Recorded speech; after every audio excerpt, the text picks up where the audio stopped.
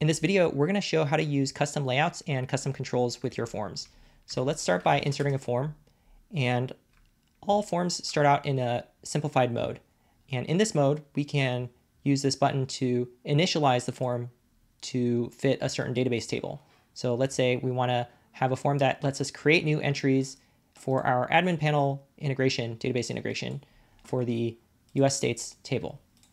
So now we get this form that is nicely initialized to all the fields available in this table, which we're also displaying on the left here.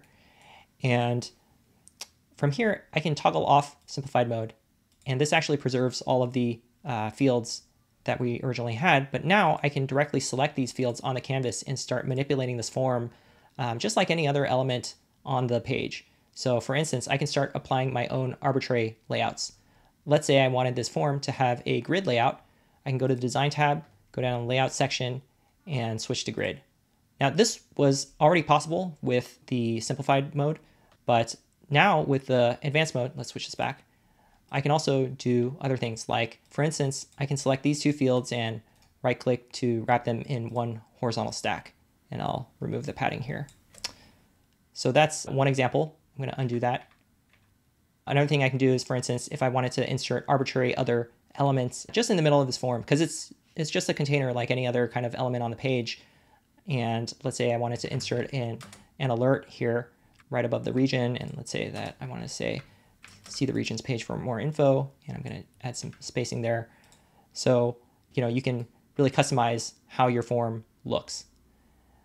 One other important customization you can do is using your own input components. So right now, the way that um, this form is structured, I'll delete this uh, is if we open the outline in the left, we can see that the form actually contains a number of different form fields, these four different form fields. And each of these form fields contains a slot for the label. So inside of this label, we can add other things like, let's say we want to add an icon in this label.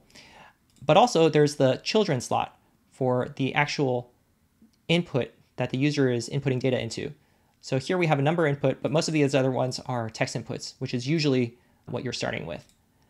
And I can basically select this input, let's say the region, instead of just being a freeform text input, I know that the region is always one of these existing values, south, north, west, etc.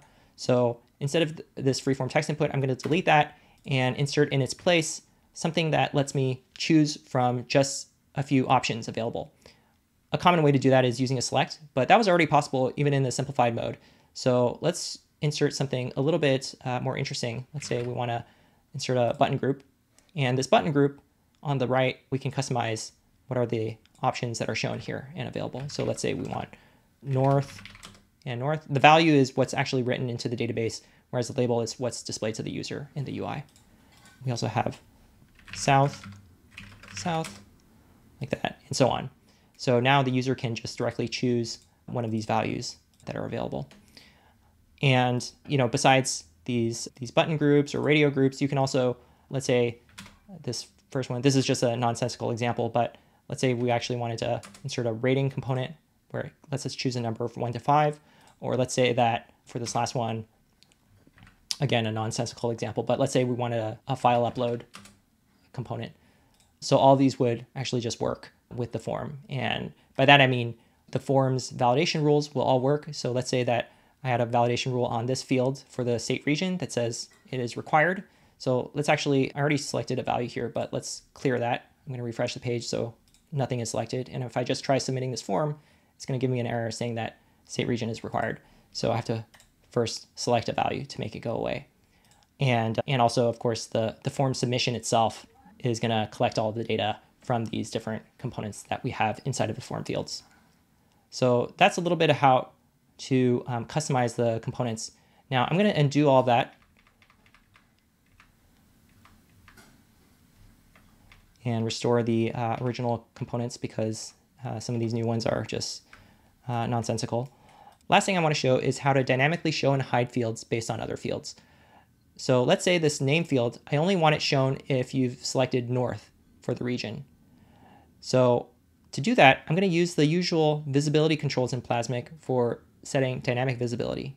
So we can set the visibility to a dynamic value and we can, from this list, we can pick the form and specifically the state region field in it.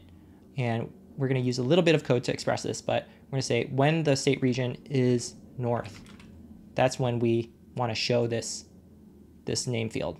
So now name is hidden because the current value is south, but when we switch to north, then state name is shown. So that's a little bit about how you can start really customizing forms.